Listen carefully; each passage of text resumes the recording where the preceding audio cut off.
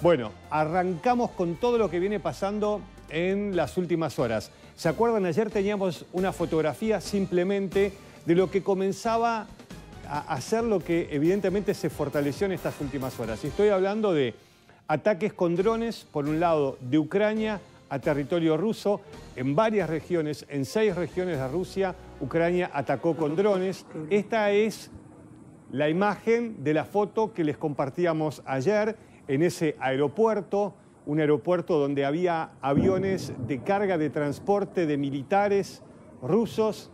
Rusia dice sí fueron golpeados, bueno, por las imágenes y por lo que están diciendo algunos servicios de inteligencia, esos aviones gigantes para el transporte de tropas fueron destruidos, se hablan de al menos cuatro.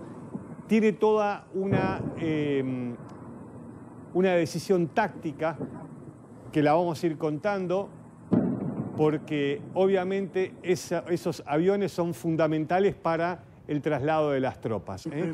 Pero les decía, dire si querés vamos mostrando las imágenes porque a esto, a lo que pasó, hubo una, un anuncio y Rusia advirtió, dijo, esto no lo vamos a dejar pasar, vamos a responder. Y hubo también un contraataque por parte de Rusia eh, a la ciudad de Kiev. ¿eh? Eh, estamos viendo, la verdad, en estas horas uno de los momentos más duros de la guerra. Eso supuestamente es parte de un dron destruido por las baterías antiaéreas ucranianas. ¿Eh?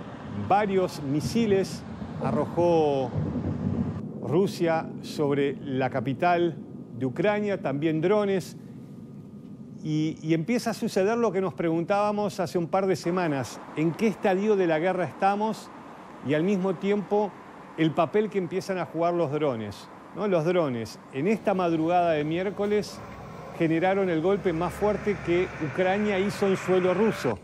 El suelo ruso que está cada vez más bajo el asedio, por supuesto, no estamos hablando de misiles crucero como eh, el que fue derribado eh, sobre Crimea, el misil crucero que Occidente le ha dado, o son los que Occidente le está dando a, Ucrania, que Ucrania prometió que no va a utilizar en territorio ruso, porque ahí entonces Rusia eh, estaría aún más cerca de un enfrentamiento con la OTAN, pero de esta situación de los drones, ¿no? como arma que genera impacto en lo militar, pero desde otro lado, porque al destruir, como les decía, esos aviones de traslado, o al destruir esos aviones supersónicos. ¿Se acuerdan? Hace un par de días cuando veíamos esas imágenes de un avión en llamas o lo que quedaba de un avión en llamas, eh, eso le sirve a Ucrania para la idea de avanzar en el sur del país. Bueno, este es un depósito, es un